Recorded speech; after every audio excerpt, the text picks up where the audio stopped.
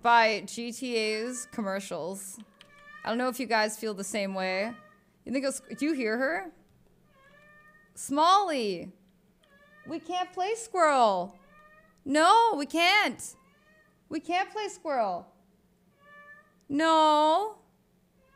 Can't play squirrel right now. It's in her mouth. No, we can't. It's not squirrel time. It's not squirrel time. No, it's not. It's not.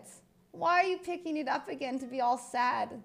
Are you going to bring it to the kitchen and then back around like it's a new squirrel? Smalley. Don't be so sad about the squirrel, Smalley. No. No.